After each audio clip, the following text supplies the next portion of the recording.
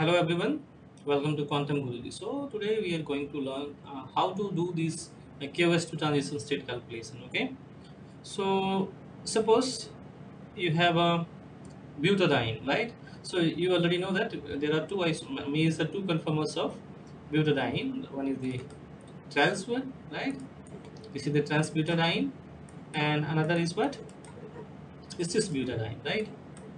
And another is one cis butadiene so cis butadiene is this is the cis butadiene it has a you know it's not in the plane it has certain rotation right? So first you need to do is you need to optimize both of the geometries of this right? Cis as well as the trans one. Both geometry you need to optimize right? Now you have the reactant uh, like we have the two geometries and you want to find out the uh, you know transition state between those two structures okay and you can find out you can using that you can find out the uh, rotational barrier also in this molecule. So what we can do is we'll suppose I'll copy this. This I'll copy first copy it and go to the file menu and new molecule group and we'll paste it. Fine. And now you can close this. You have this C2 again just copy this and paste it.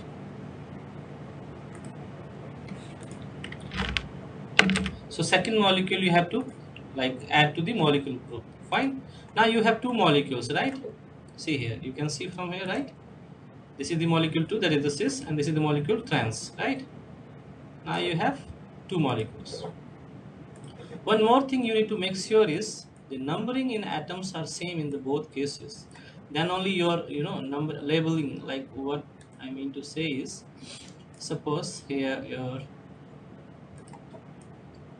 see suppose the atom number 1 3 6 and 8 belongs to carbon right? 1 3 6 and 8 so in molecule 2 also same number of uh, like atoms should belong to carbon okay?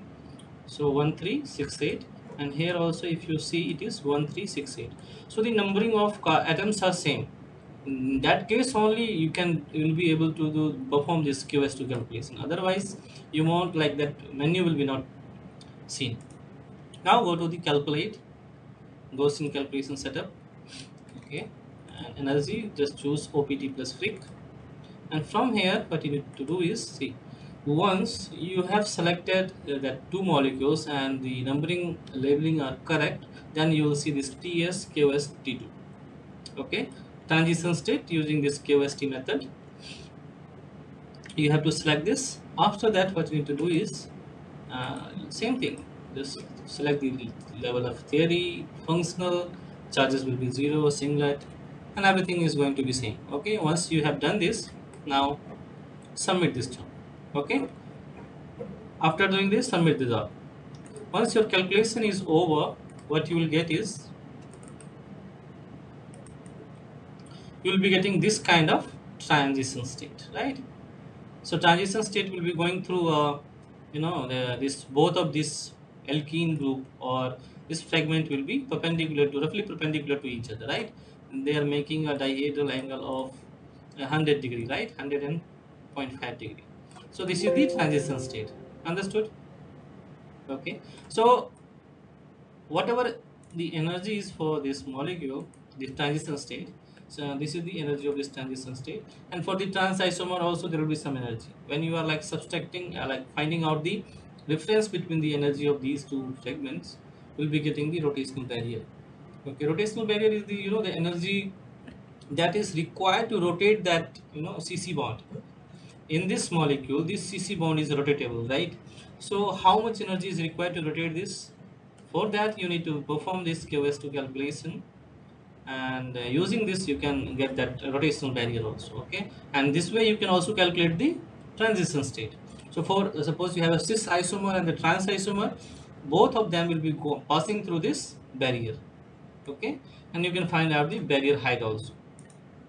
You can go to the result menu and everything is going to be same. Fine?